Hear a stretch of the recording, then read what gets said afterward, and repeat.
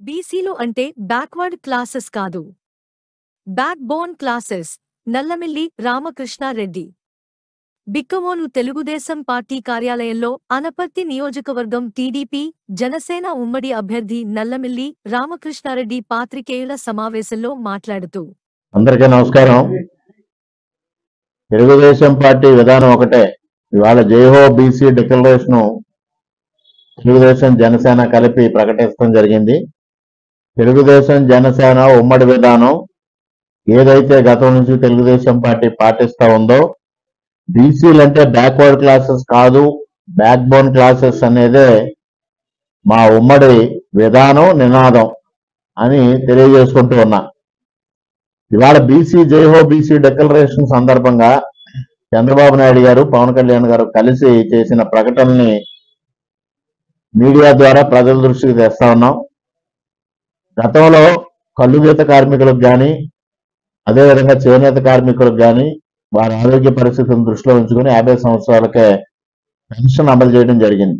ఈ రోజు బీసీలకు అందరికీ కూడా యాభై సంవత్సరాలకే పెన్షన్ అమలు చేయడం జరుగుతుందనేది ఈ సందర్భంగా తెలియజేస్తా ఉన్నా. అదేవిధంగా పెన్షన్ నెలకి నాలుగు వేల రూపాయలు పెన్షన్ ఇవ్వడం జరుగుతుంది అనేది కూడా ఈ సందర్భంగా తెలియజేస్తా ఉన్నా.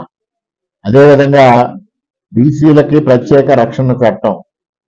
ఇవాళ జగన్మోహన్ రెడ్డి పరిపాలనలో మూడు వందల మందికి పైగా బీసీలు క్రూరంగా హత్యకు గురయ్యారు. అదేవిధంగా బీసీల పైన దాడులు కానీ దౌర్జన్యాలు కానీ అత్యాచారాలు కానీ అకృత్యాలు కానీ విపరీతంగా పెరిగిపోయినాయి. అందుకోసం వారందరినీ రక్షించడం కోసం ఒక ప్రత్యేక రక్షణ చట్టం తీసుకొస్తామని కూడా ఈ సందర్భంగా తెలియజేస్తూ సామాజిక న్యాయ పరిశీలన కమిటీ ఏర్పాటు చేసి బీసీల యొక్క హక్కులు కాపాడే ప్రయత్నాన్ని తెలుగుదేశం జనసేన ఉమ్మడి ప్రభుత్వం చేస్తుంది అనేది తెలియజేస్తా ఉన్నా. అదేవిధంగా బీసీ సప్లాన్ ద్వారా లక్షన్నర కోట్లు ఖర్చు చేసి బీసీలకి అన్ని విధాలుగా ఆర్థిక అభివృద్ధి చేయటం కోసం స్వయం సమృద్ధి సాధించడం కోసం మరి మా వంతు ప్రయత్నం మేము చేస్తామనేది తెలియజేస్తా ఉన్నా. అదేవిధంగా వైసీపీ ప్రభుత్వం డెబ్బై ఐదు వేల కోట్ల సబ్ ప్లాన్ నిధులు నిధులు మళ్ళించి మరి ఏదైతే నవరత్నాలు ఉన్నాయో ఆ నవరత్నాలకు వినియోగించడం జరిగింది. ఆ విధంగా కాకుండా బీసీలకి కేటాయించిన నిధులు బీసీలకు మాత్రమే ఖర్చు చేసే విధంగా చట్టపరమైన చర్యలు తెలుగుదేశం జనసేన ప్రభుత్వం తీసుకుంటుంది. స్థానిక సంస్థల్లో గతంలో బీసీ రిజర్వేషన్ని ముప్పై నాలుగు శాతానికి పెంచిన ఘనత చంద్రబాబు నాయుడు గారు. దాన్ని జగన్మోహన్ రెడ్డి వచ్చిన తర్వాత ఇరవై నాలుగు శాతానికి తగ్గించడం జరిగింది. దానివల్ల బీసీలు దాదాపుగా పదహారు వేల ఎనిమిది వందల పదవులు వారికి అందకుండా పోయాయి.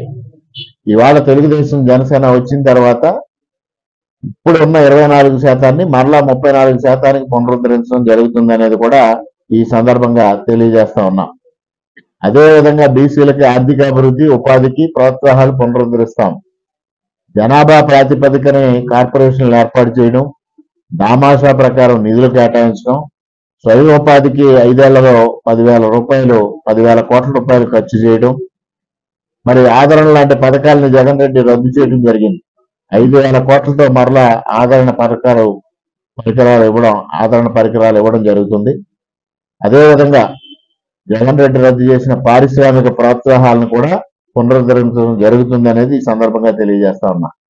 చట్టబద్ధంగా కులగణన నిర్వహించడం జరుగుతూ ఉంది ఇవాళ జరుగుతున్న పరిస్థితులు మీరు చూస్తా ఉన్నారు. ఆ విధంగా కాకుండా చట్టబద్ధంగా జరుగుతుంది ఏదైతే చంద్రన బీమా గతంలో అత్యంత ప్రాచుర్యం పొందిన కార్యక్రమం ఒక సంక్షేమ పథకం అది గతంలో ఉన్న ఐదు లక్షల్ని ఇవాళ పది లక్షలు చేయడం జరుగుతుంది. పెళ్ళి కానుకల్ని గతంలో ముప్పై ఐదు వేలు ఉన్నదాన్ని ఇవాళ లక్షకు పెంచడం జరుగుతూ ఉంది.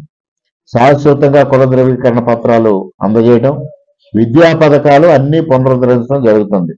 నియోజకవర్గాల్లో రెసిడెన్షియల్ స్కూల్ని జూనియర్ కళాశాలకు అప్గ్రేడ్ చేయడం జరుగుతుంది. షరతులు లేకుండా విద్య విదేశీ విద్య అమలు చేయడం జరుగుతుంది. పీజీ విద్యార్థులకు కూడా ఫీజు రియంబర్స్మెంట్ పునరుద్ధరించడం జరుగుతుంది. స్టడీ సర్కిల్స్ విద్యోన్నతి పథకాలు పునఃప్రారంభిస్తాయి. గతంలో జరిగినవి వాళ్ళ పూర్తిగా నిర్వీర్యం అయిపోయి వాటిని పునరుద్ధరించడం అదేవిధంగా బీసీ భవనాలు కమ్యూనిటీ హాల్స్ నిర్మాణాలను మొదటి ఏడాదిలోనే వాటిని పూర్తి చేయడం జరుగుతుంది. ఈ విధంగా అనేక కార్యక్రమాల్ని జేఓ బీసీ లో చంద్రబాబు నాయుడు గారు పవన్ కళ్యాణ్ గారు కలిసి ప్రకటించడం జరిగింది. ఇవన్నిటిని మేము తప్పనిసరిగా అమలు చేస్తాం. బీసీలకి ఆర్థికంగా సామాజికంగా రాజకీయంగా అభ్యున్నతి కల్పించడమే గతం నుంచి కూడా తెలుగుదేశం పార్టీ విధానం నినాదం. దాన్నే ఇవాళ మరలా పవన్ కళ్యాణ్ గారు చంద్రబాబు నాయుడు గారు కలిసి ప్రకటించడం జరిగింది.